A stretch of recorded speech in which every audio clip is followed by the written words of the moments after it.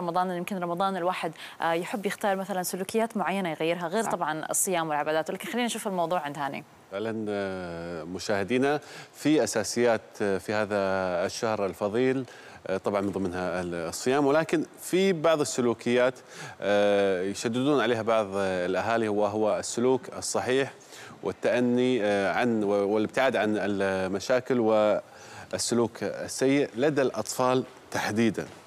واليوم آه، ممكن طبعا آه، نسأل سؤال نقول كيف ممكن الصيام يساعد الأطفال في ته- تهذيب سلوكهم وتحسينها؟ أكيد طبعا. معنا اليوم دكتورة هالة الأبلم اختصاصية نفسية وتربوية. نقول لك صباح الخير واهلا وسهلا صباح فيك. النور والسرور. هلا والله حياكم الله. دكتورة نورين. في البداية هل الصيام يساعد الطفل آه، في تحسين سلوكه؟ 100% 100% ما في شك, ما في شك. يعني أنا ما أشك في هذا. ال- الصيام هو عبارة عن منظومة تربوية. إذا قلت لكم بمعنى أصح. إيه، وهو ركن وايد من أركان الإسلام. نعم. لو ابتدينا فيه وعلمنا أطفالنا من عمر بعد الثمان سنوات الالتزام بالصيام. الصيام لا يعني المنع من الشراب والأكل. الصيام منع من كثير أشياء وسلوكيات نبغى نعدلها مثل إيش دكتورة مثلا يعني لو إحنا التزمنا قلنا للطفل مثلا إن إحنا حنرت حن حن حنج- حنحط لها جدول للصيام بمعنى إن أنت في أشياء المفروض ما ناكلها ونشربها في البداية هي عملية أكل وشرب لكن يفترض إن إحنا نلتزم بهذا لأن بعض الأطفال شو يسوون؟ يروحون من وراء الأهل شو يسوون؟ ياكل. ياكلوه صح؟ أكيد. إيه؟ أختي okay سوتها السنة اللي فاتت طب okay ما فكرتي ليش سوى هالسلوك؟ لا اللي صار في إجبار ما كان في اختيار. فأنا أعلم طفلي إنه هو يحب يصوم مثل ماما وبابا. فهذا سألتها هي إيه. مو مجبورة من أهلي والله إيه. بس هي راحت قالت عشان أنا ما أبغى أزعل كم ماما. عمرها؟ اي كم عمرها؟ عمرها ما ب- عشرة. عمرها عشرة ما بقى ازعل ماما، شفتي إيه. كلمة ماما أزعل ما ماما؟ إن في علاقة هي حابة إن هي أكثر تحتوي أمها بطريقة ان ترضيها بس من وراء ما مش مفترض تلتزم، فلذلك لا إحنا نقول نرتب ال- العملية الع- الصيام مثل ما قلت لك منظومة تربوية، نعلم فيها سلوكيات الحلال والحرام، نعلم فيها الروح والريحان والاجتماع الأسرة والحب والمودة، كيف إن إحنا نقول لهم مثلا نجتمع مع الأسرة ونفطر الإفطار، كيف نساعده على السحور، طبعا في صيام أنا في بعض الأهالي أستغرب عليهم. يعني يصومون الطفل عمره خمس سنوات ست سنوات يعني من السنة إلى ثمان سنوات مفترض ما نصوم الطفل. نعم. أيوه أنا كنت حسألك لسه إيه. الأهل اللي يشددوا فكرة آه، الصيام عند الأطفال. هذا خطأ خطأ. لازم يختار لازم يختار. يعني من عمر 11 أبتدي أقول لا هو يقول ماما أنا أبغى أصوم مثلكم. يعني هو يحب يختار أوكي يلا نصوم. حنعلمه الصيام صيام العصافير بمعنى إن إحنا حنصوم مثلا من الساعة كذا لكذا بعدين حنفطر وأهم شيء إن في وقت الإفطار كنا نجتمع. هذا التجمع في حد ذاته اسس تربويه صحيح. لقاء الأسرة الحب المودة النقاش الحوار الضحك. الأسر في رمضان تتجمع. صحيح. وهذه وايد سلسلة حلوة. نعليهم مهارات الاجتماع- الاجتماعية كيف نتواصل كيف نتحاب. أنا أذكر في حالة صار فيها إجبار. من الحالات الصعبة جدا. كان في انحراف سلوكي للشاب عمره تقريبا 15 16 سنة. لما بحثنا في خط السير التاريخي ماله وجدنا أنه كان في عمر 11 سنة. شو يسوي؟ كان عشان يقوم يصوم عشان يقوم يسحر يصبون عليه ماي مع الضرب. يا. لطيف يا رب. فالولد صار عنده عملية إجبار. أنت ليش هذا عشان عشان يصوم. عشان يصوم. طيب هذا لو فطر إيش يسوون؟ ما أدري.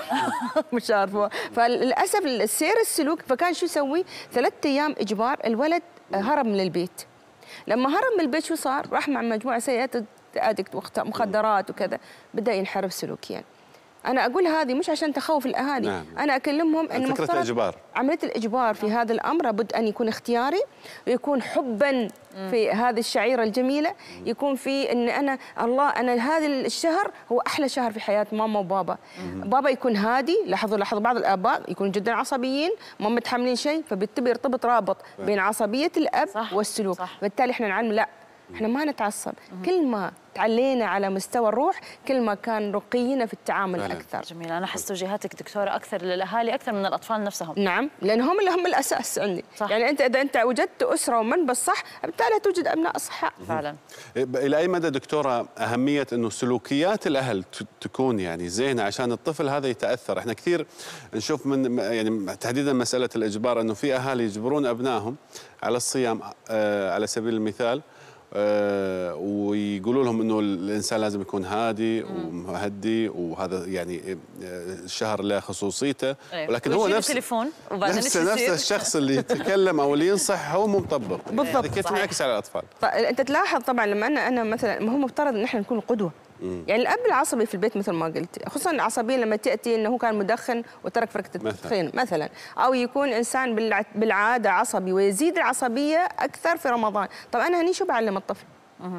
ما بحس إن هذا بامان لا بابا يزيد يكون صايم أنا ما بيصوبه أنا ما بتكلم معاه. فبالتالي أنا هني هسه أسوي جاب بيني وبين الطفل عادة. لا خليها نوع من الاريحيه خليها نوع من أنواع الحب والاحتواء في هذا الشهر. يعني أنا أقول هذا ال- الشهر الفضيل يعلمنا روحانيات جميلة جدا.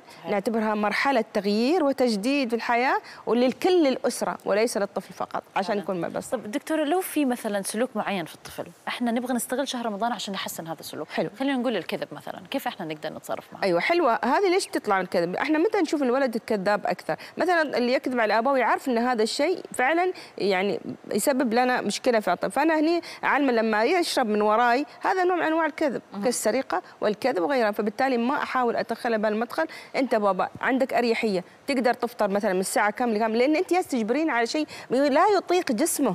مشكلة إن إحنا ما نسمع إن أطفال الأطفال من سنة لعشر سنوات هو اللي يطبع عليهم الشيء الحسي الداخلي لما بطنه يعوره يبغى ياكل. صح. صح ولا لا؟ إحنا لا إحنا إحنا لما نكبر يصير شيء مجرد.